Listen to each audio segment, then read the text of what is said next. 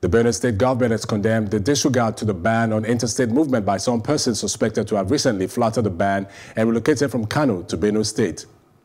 The State Deputy Governor and Chairman of the State Action Committee on COVID-19, Engineer Benson Abounu, expressed his displeasure as the committee raided a settlement in the Wurukum area of Makurdi, where several Almajirai were discovered to reside. Engineer Woodham says that the intelligence report revealed that several of the residents had relocated from Kano, thus the need to ensure they did not relocate with the coronavirus.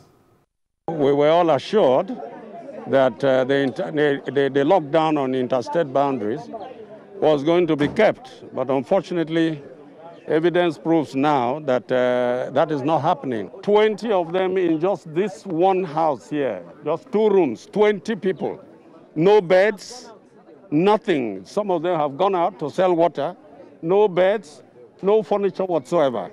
And they are just on the ground, lying on the ground. The whole house is overcrowded. And they just came from Kano.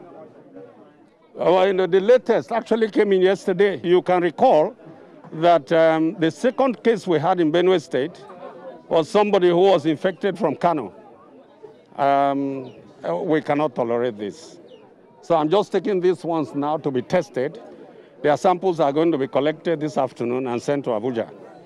Uh, and then we'll now know what to do next. He just came in from Kano and the roads are blocked. We don't know how many he happens to smuggle in because we're having cases of some other people were tested in other states and they ran away. You understand? So we thought that maybe this one too may be as a result of that, that maybe he has been tested somewhere else and he ran away, come to hide here. And then now we now said, okay, there's no hiding place. Now we now said, okay, let's call the COVID-19 uh, rescue team to come and then um, carry the person along so that they will know what's happening and they will know how he got into Makurdi.